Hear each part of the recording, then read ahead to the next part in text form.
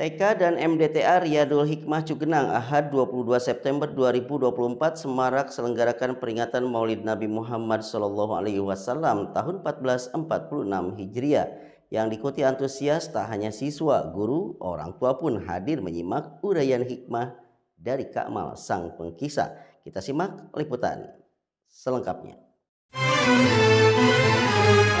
Pemirsa, semarak dan kebahagiaan tengah dirasakan keluarga besar TK dan Diniah Riyadul Hikmah Desa Nyalindung, Kecamatan Cugenang, Ahad 22 September 2024 dalam rangkaian memperingati Maulid Nabi Muhammad Shallallahu Alaihi Wasallam tahun 1446 Hijriah yang diawali dengan tampilan seni siswa dan tradisi sawer. Selain jajaran pengurus yayasan dan pengelola sekolah, hadir tokoh agama dan tokoh masyarakat setempat dan kepala sekolah terdekat dari keberadaan Yayasan Riyadul Hikmah. Suasana semakin siang semakin terasa khidmat penuh makna tatkala panitia pada PHBI tahun ini menghadirkan penceramah yang sedang fenomenal, multi talenta Kakmal Sang Pengkisah yang dikenal memiliki kemampuan menirukan 80 karakter suara. Kepiawaian mendongeng dan berkisahnya membuat hadirin lintas usia ini tak ada satupun yang beranjak dari tempat duduknya hingga sesi ceramah berakhir.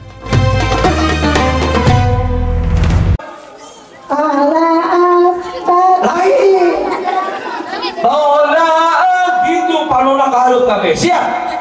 Tuna dihalup. Allahumma salli wa sallim wa barik alaihi. Qala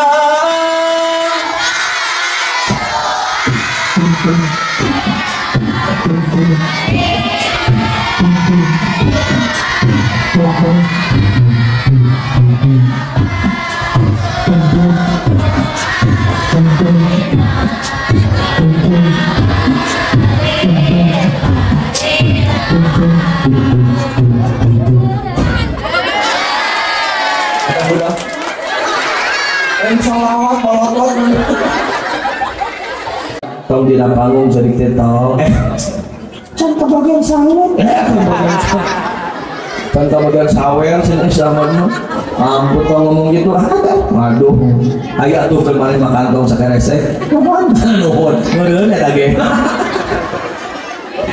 Mas, Kak Amal mau tanya, kamari gini rame-ramenya ayat 17 Agustus acara naon teh? Kemerdekaan Indonesia Emang sabar tahun?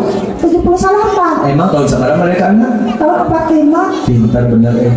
Wajar lamun tilu kali diajar teh. Sakali deui. siap Presiden Indonesia nu kahiji. mau tapi panggil nyanyi Lain nyanyi nanya. Oh Oh. Oke, tanya gitu. Presiden nu kahiji saha?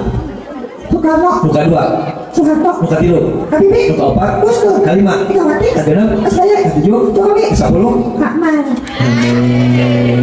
Ya Allah, Presiden anu ke-10. Halo, euy, naon aja. Presiden anu ke-10. Kurang. Coci Ahmad Presiden ke-10 saha? Lebih keluar. Amin ya Allah ya Rabbal Alamin. Pak Ustadz, ibu-ibu, bapak-bapak sadayana tukang jualan Upami hoyong di foto Atau tanda tangan ayeuna nya Beli kayak sibuk Sementara itu menurut guru pembimbing dan kepala sekolah kehadiran Kakmal pada momentum siar Maulid Nabi tahun ini saat memberikan kesan dengan metode penyampaian kisahnya yang menarik, penuh edukasi dan motivasi.